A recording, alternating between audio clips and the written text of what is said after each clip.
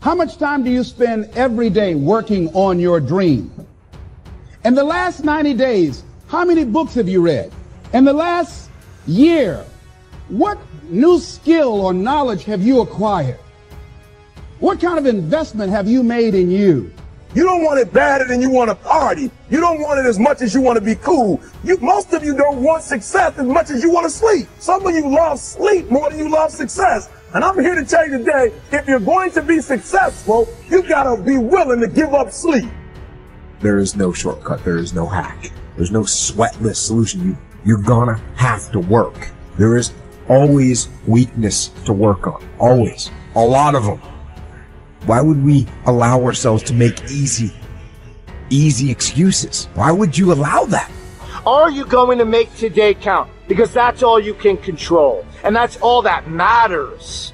It doesn't matter where you start, guys. It doesn't matter what talents you're born with. It's about where you finish. And this race isn't over. It's not over. You can still come in first in the marathon. But you gotta start today.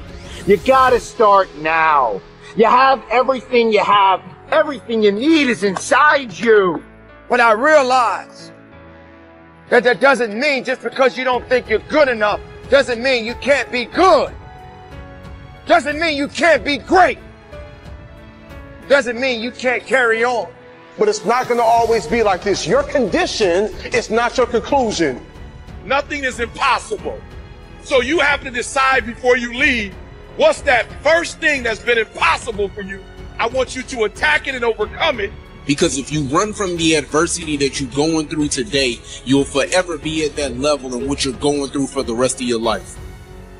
One day you'll look back on your life and appreciate the struggle and have nothing but gratitude for everything that happened along the way. And you come to recognize that in return, you're given the chance to earn the greatest edge of all, and one that can never be taken away. You have enough right now to change your life. You have enough right now to flip this world upside down. You have enough. You got enough power. You got enough anointing. You got enough grace. You got enough patience. You got enough gifting to make your money, get out of debt, get yourself together, and change everything about your world. Realize that you have the ability to make an impact. You have an opportunity to change that story in your head. Put yourself out there because when you do, amazing things happen. The essence of life is growth. The essence of life is growth, to do the best you can. And here's what's interesting. Humans are the only life form that will do less than they possibly can. Humans are the only life form that will settle for less. Every other life form except human beings strive to its maximum capacity. How tall will a tree grow? Approximately. As tall as it possibly can. You never heard of a tree growing half as high as it could. No, trees don't grow half. Trees send their roots down as deep as possible, stretch their limbs up as high as possible, produce every leaf possible and every fruit possible. As a matter of fact, you never heard of a human physically growing half. We keep growing until we're done. Now that's the part of life we can't control. It's genetically coded. And that's probably why we keep growing till we're done. Because we can't control that part. It's the rest of our growing that we control. The growing of our mind, the expansion of our mind, that we can control. And that's what tends to get away from us. All life forms inherently strive to their max except human beings. Now, why wouldn't human beings strive to their maximum possibility? Here's why because we've been given the dignity of choice. It makes us different than alligators and trees and birds. The dignity of choice makes us different than all other life forms. And here's the choice.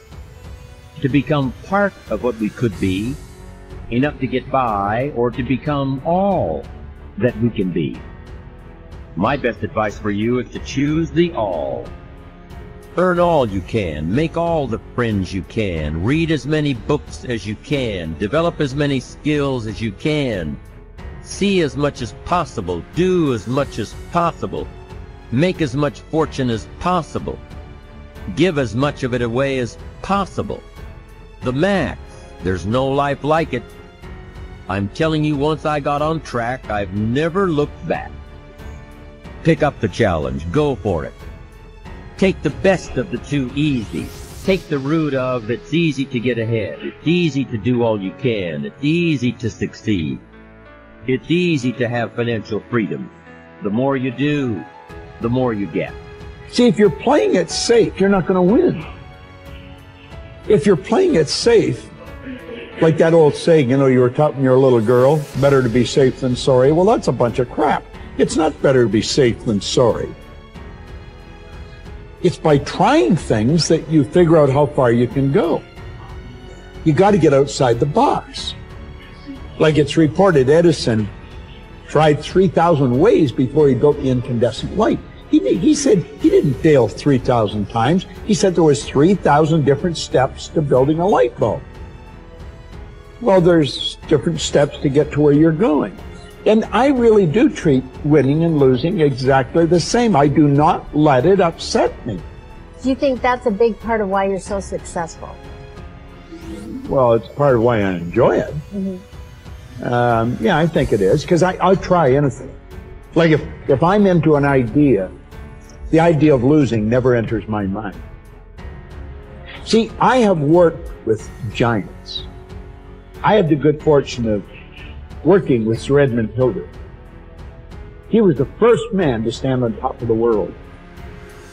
And I worked with him on three different occasions.